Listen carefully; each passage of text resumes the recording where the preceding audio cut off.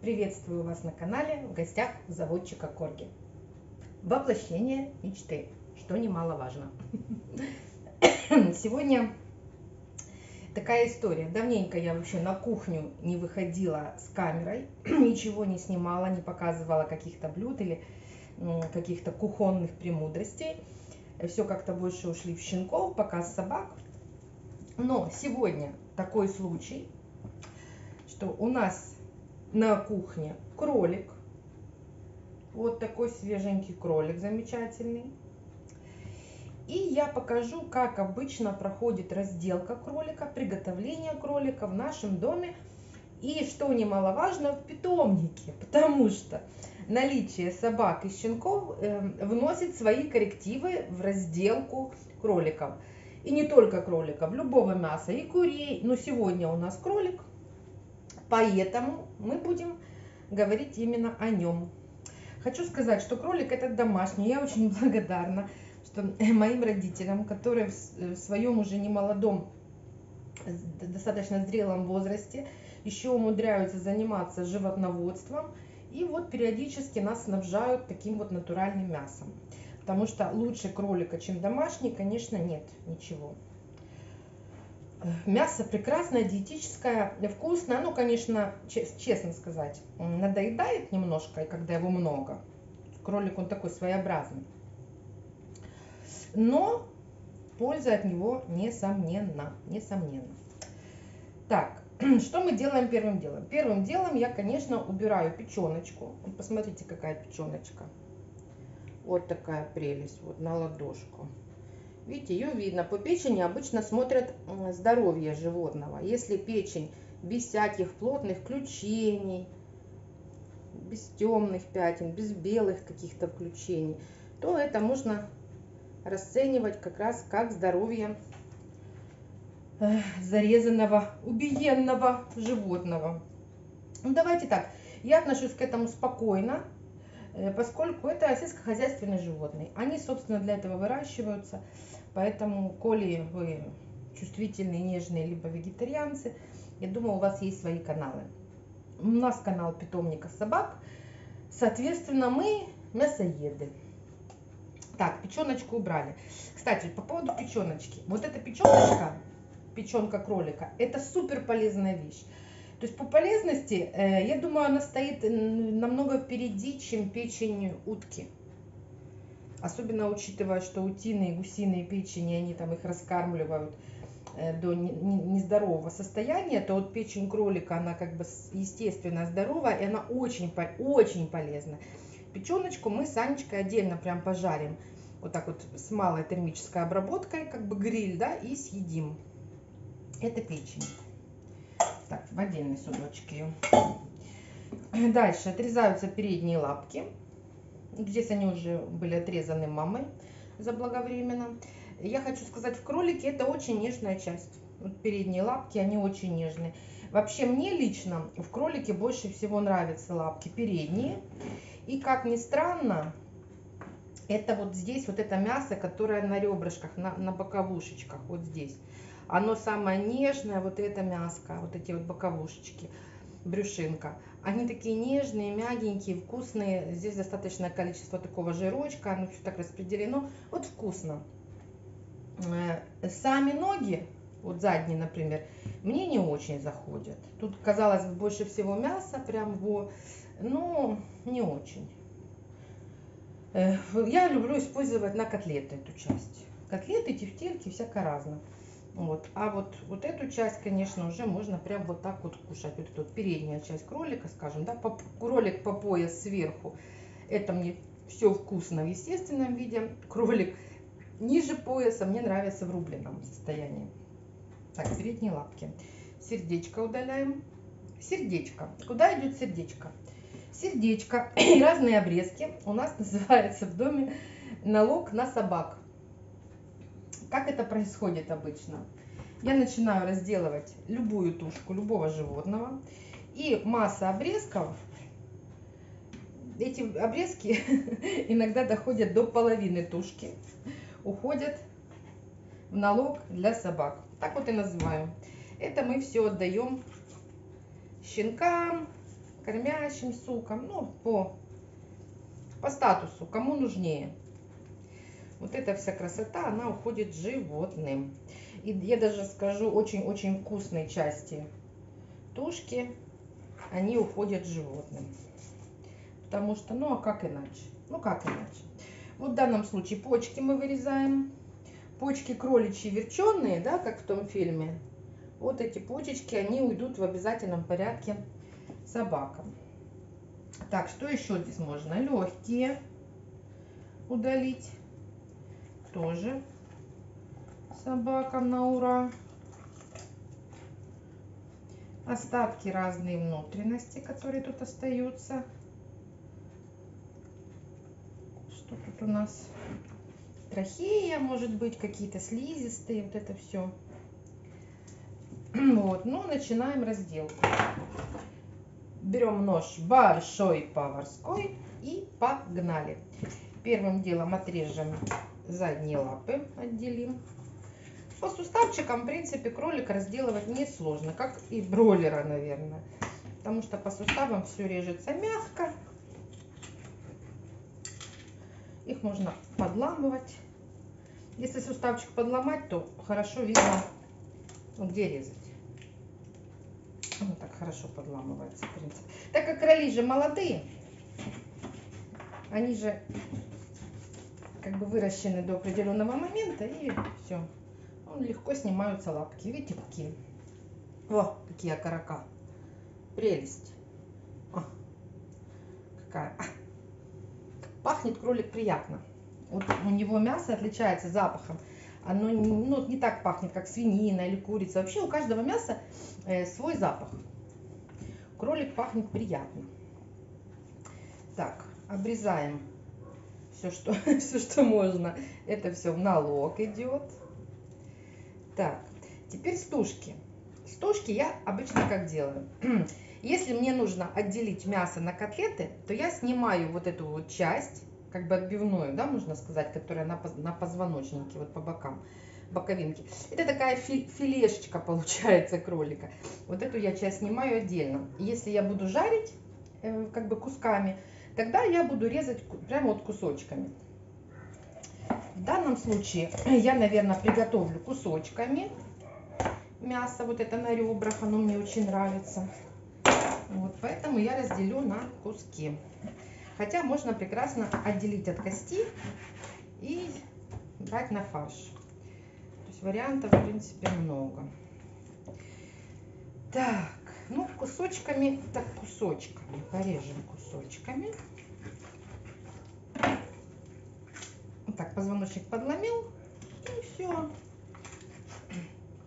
По суставчикам, между позвонками нож пройдет мягко, в принципе. Ну, я сразу скажу, я же не профессиональный разделщик. Просто вот живу, готовлю, да, соответственно, приходится ну вот получается вот такой кусочек. Вот такой кусочек. Можно его разделить напополам. Если великоватый, можно разделить. А можно и целый. Вот если разделить, будет два таких вот порционных кусочка кролика. Вот эта порция. Так.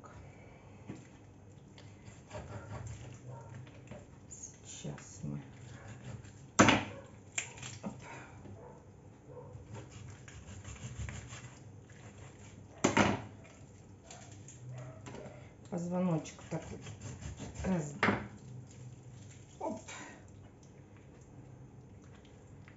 угу. разорвем, отрежем. Так. Угу. Все, что у нас якобы некрасиво, не гармоничненько выпирает, висит, выделяется, это все налог собакам. Все налог собакам. Сегодня будет у наших собак пир на весь мир. Так, вот у нас еще получаются порционные кусочки. Так. Так.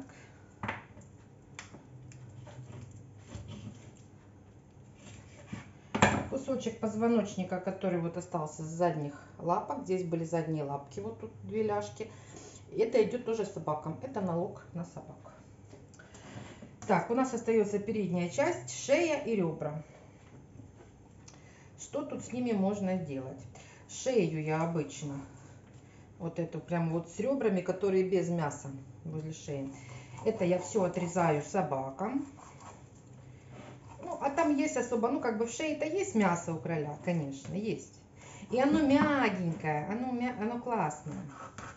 Ну, у меня традиционно, уж так как-то повелось, шея уходит собака.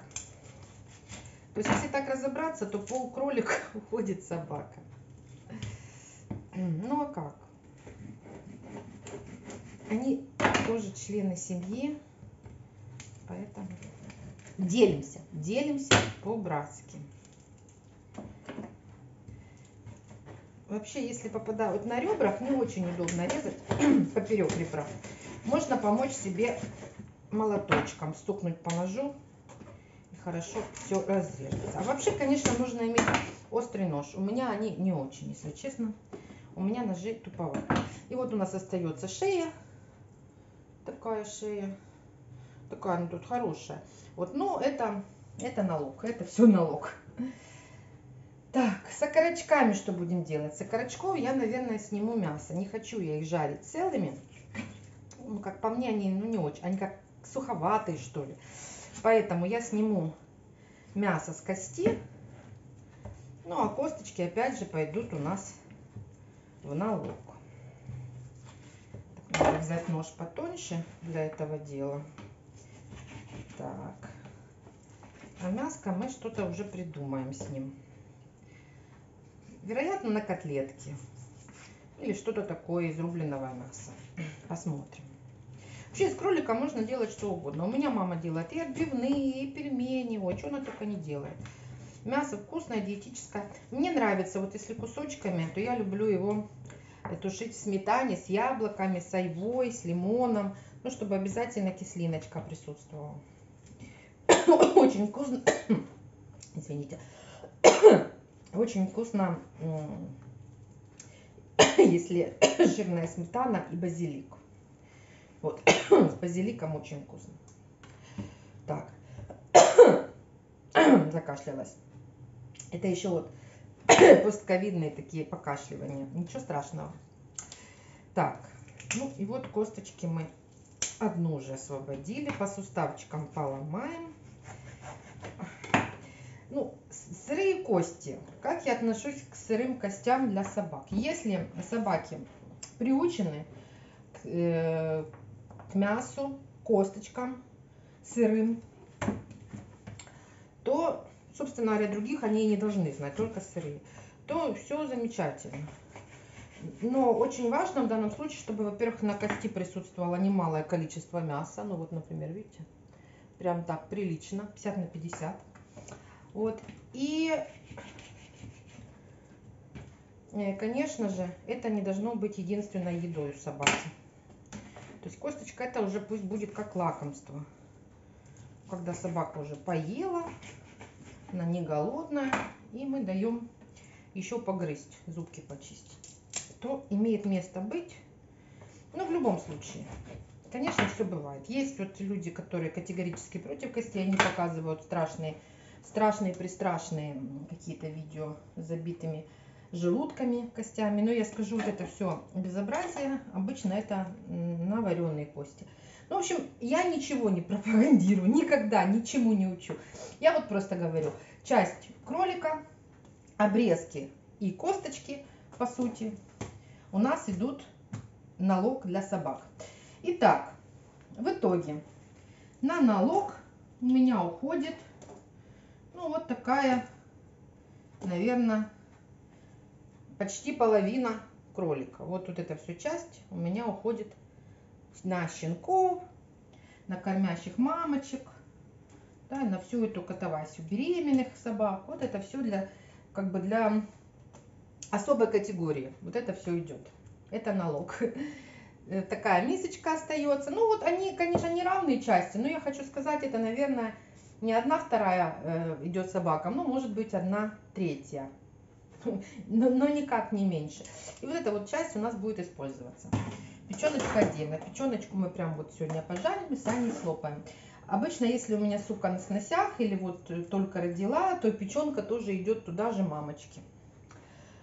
Так, такая история. Теперь что мы будем делать с этим мясом? Вот это мясо я приготовлю за два раза, вот этого всего кролика. Э, части, которые с косточками, я их буду жарить. Ну и, наверное, с айвой. У меня есть айва свеженькая. Вот то, то все, что с косточками, это пойдет на жарку, это пойдет на одно блюдо.